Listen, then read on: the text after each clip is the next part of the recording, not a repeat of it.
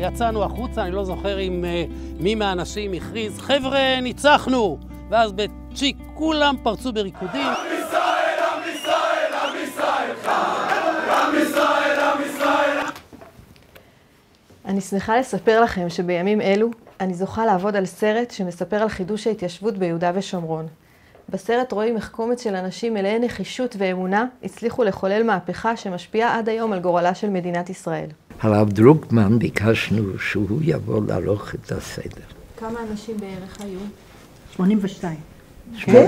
אני שמעתי תמיד 100. הרגשתי שכל מה שאני רוצה מהעולם אני מקבלת עכשיו. כמו איזו הרגשה של uh, שלמות פנימית. אני הרגשתי שאני הולך לצאת ממצרים עוד מעט. זה קשה במילים לתאר מה היה שם. סדר ראשון מאז תרפ"ט בחברון.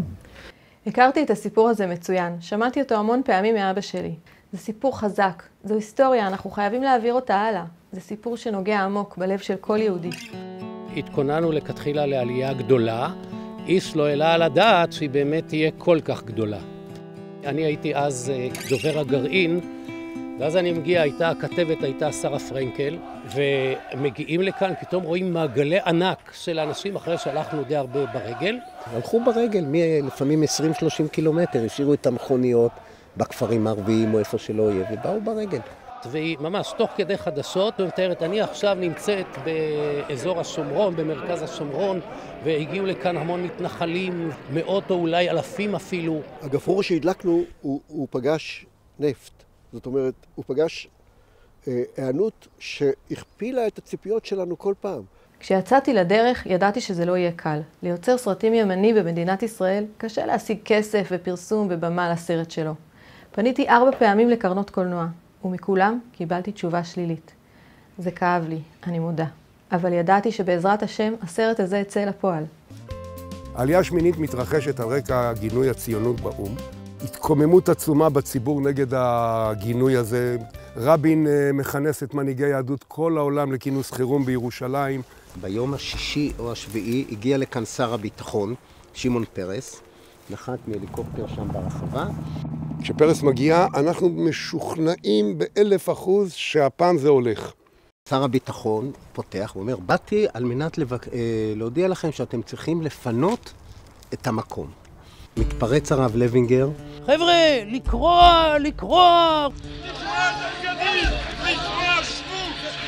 זה הכניס את כל הקהל להיסטריה המונית כזו. והציבור קם, והיה הרגשה שהציבור הזה הולך לעלות על המבנה פה. פרס שומע את זה לתוך החדר, את הזעקות של הציבור. הוא אומר לנו פתאום, ככה בשונה מכל מהלך השיחה, אני חייב לסיים. ואלוף הפיקוד מתחיל בקשר להגיד, להגיד לחיילים שהיו פה על הגבעה, מסביב, על הגבעות לשמור, לרדת למטה. אברהם מינץ יצא החוצה ואמר לאנשים שכבר התחילו להתקדם, אני מבקש לעצור. התיישבו על האדמה, התחילו לבכות ולשיר על נהרות בבל. זה היה נראה לי משהו כמו תמונה תנכית.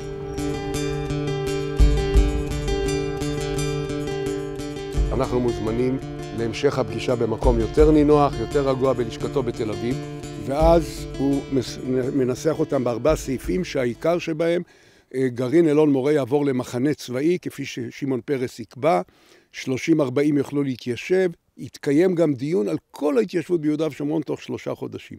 חצי מהסכום הדרוש לסרט כבר גויס מתורמים וממקורות נוספים, ועכשיו אני מבקשת מכם, עזרו לי לגייס את החצי השני של הסכום כדי שאוכל לסיים את הסרט.